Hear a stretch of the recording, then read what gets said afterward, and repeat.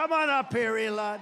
He created the first major American car company in generations, and his rocket company is the only reason we can now send American astronauts into space. Come here.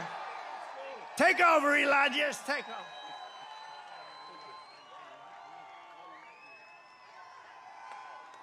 Hi, everyone.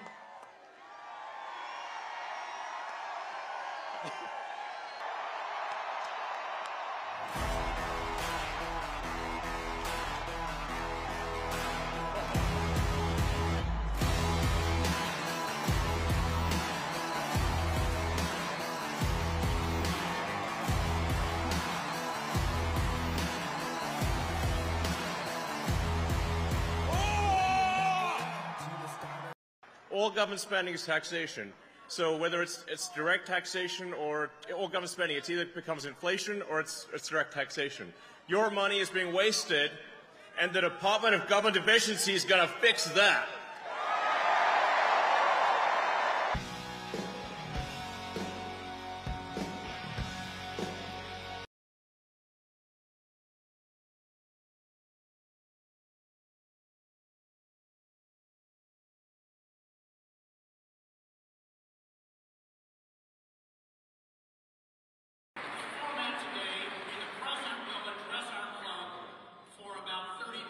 I will create a government efficiency commission tasked with conducting a complete financial and performance audit of the entire federal government and making recommendations for drastic reforms. We need to do it.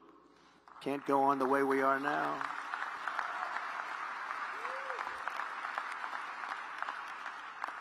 And Elon, because he's not very busy, has agreed to head that task force. Be interesting if he has the time. That'd be a good one to do it, but he's agreed to do it.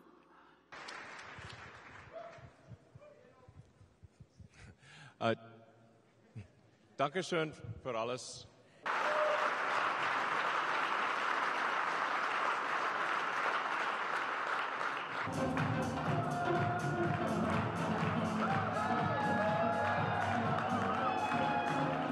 So he has a big, beautiful, bright future ahead. Vivek Ramaswamy. Come on up, Vivek.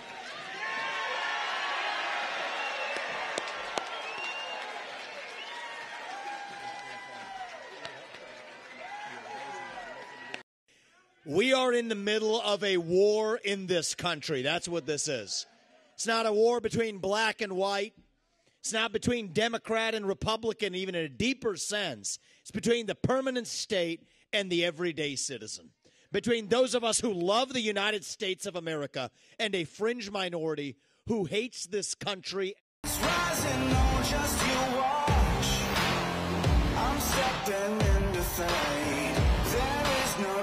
And right now, we need to step up and fill that void with our own vision.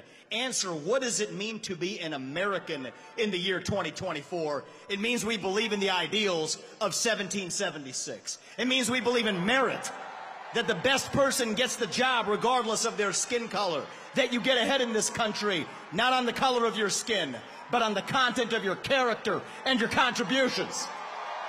That's why we're done with the woke DEI agenda bringing in meritocracy to America.